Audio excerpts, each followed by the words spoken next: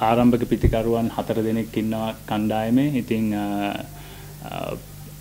ඒ අනුව හුඟක් වෙලාවට අපි කල්පනා කරනවා මේ තරඟාවලියේ හොඳම ආරම්භක පිතිකරුවන් දෙදෙනා කවුද? ඒ වගේම අපි පහුගිය තරඟවලත් අරන් බලන්න ඕනේ අපිට ඉන්න හොඳම ආරම්භක පිතිකරුවන් යුගල කවුද කියන එක. ඉතින් ඒ සඳහා අපි දන්නවා අපිට අවශ්‍ය හොඳම 11 අපි දන්නවා. නමුත් අපිට මේ කාලගුණ තත්ත්වයක් තින්දා අපිට හරියටම කියන්න අමාරුයි මේක තමයි හෙට සෙල්ලම් කරන කණ්ඩායම කියන එක. ඉතින් ඒක තමයි දැනට කණ්ඩායමේ තියෙන සැලසුම්. අපි දන්නවා අපිට පිතිකරණය සහ පන්දු යැවීම අපි කාටවත් පාලනය කරන්න බෑ එදා දවසේ දක්ෂතාවය.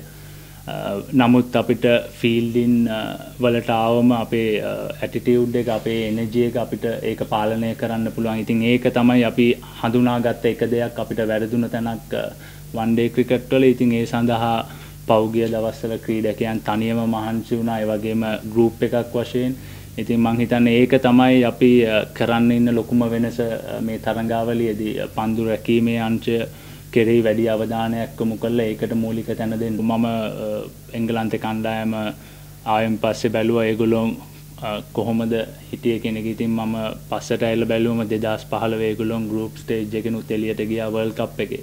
ඉතින් ඒ දවස්වල සෑහෙන ස්ට්‍රගල් කරා. ඉතින් මං හිතන්නේ මූලිකම දේ තමයි ඔවුන්ගේ පන්දු රැකීමේ අංශය ඉතාමත් ඉහළ මට්ටමක තිබුණා එතනින් පස්සේ.